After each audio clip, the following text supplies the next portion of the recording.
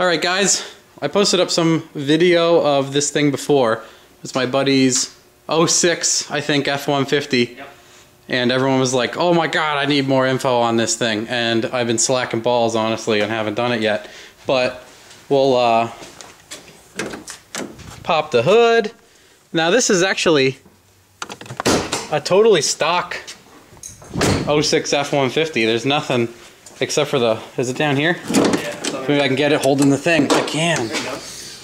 So, it's totally stock, other than Ryan here water jetted this at work, drew up a design for a blower bracket, and then what is this guy? A V, V2? Yeah, S trim. V2 S trim. Uh, you know, I may not be right with all that, but Nope, that's it. he's draining into the valve cover. He made his own bracket here, and it's actually running the stock mass air meter, but we enlarged the pipe to give it a little bit more.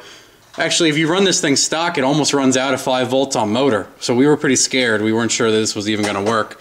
So making the diameter of this tube larger and bolting in the stock meter, you're actually scaling it back a percentage. So all of that's hooked up. Uh, what is this, like a 3 inch pulley here or something? Uh, 2.95. 2.95. It's like 12 pounds.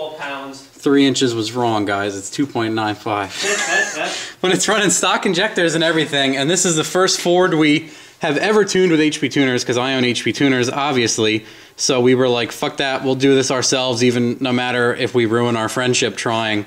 Uh, and it has been difficult. it's intense. It's yeah, it's been tense at times because there's really no good support. Uh, nobody will tell you shit. Everybody uses SCT, and then on top of that, uh, again, the people that tune this stuff, it's their livelihood. They don't share at all. The Chevy guys at least will hand sh- shit out. They tune everything themselves. Ford guys are like, I call up whatever, and they tune my truck. So it's it's tricky, but we've figured everything out almost completely on our own, basically, because no one would help us and uh, we're getting there and it runs about 12 pounds but the car runs out of fuel obviously with like stock 20 some pound 24s or 28s or whatever is in it so it runs out of fuel fairly easily the boost gauge goes up you got 11s the boost gauge goes up a little bit more and the air fuel is like dives into the 13s 14s pretty easily but Yeah, there's nothing About five pounds. Yeah. Anything over five pounds, it starts to dump down to the 14s real quick.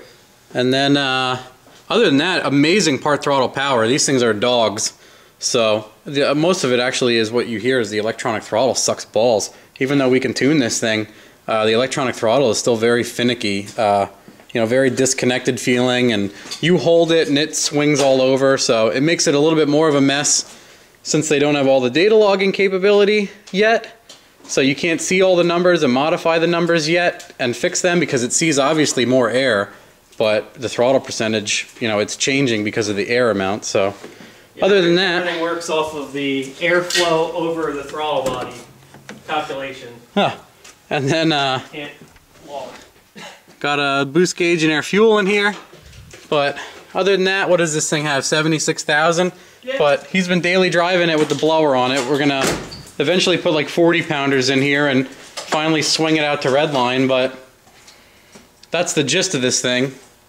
I know everybody wanted to see this. What is this, four inch pipe? Yeah.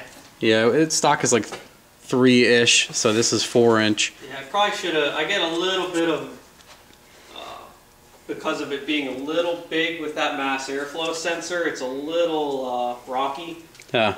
But a lot of that could just be because you can only log a certain amount of stuff. Yeah, hopefully they keep announcing Eric Brooks at HP Tuners keeps claiming Close. that yeah, they're close to releasing the scanner with full support, so Yeah, I think once that once that comes out, it'll be a lot different. hopefully we make some dyno pulls with it then, but Yeah, we'll, we'll get some good video of it.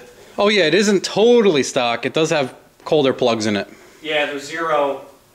Well, they call them zero plugs. Ford Motorsport zero plugs or whatever. I guess the Cobras have them. So this thing was breaking up like a son of a bitch at like one pound of boost. So Yeah, that's a guarantee. You have to do that. you have to do the plugs of a boost in it. So, Yeah, but that's it. Let me know if you assholes have any more questions.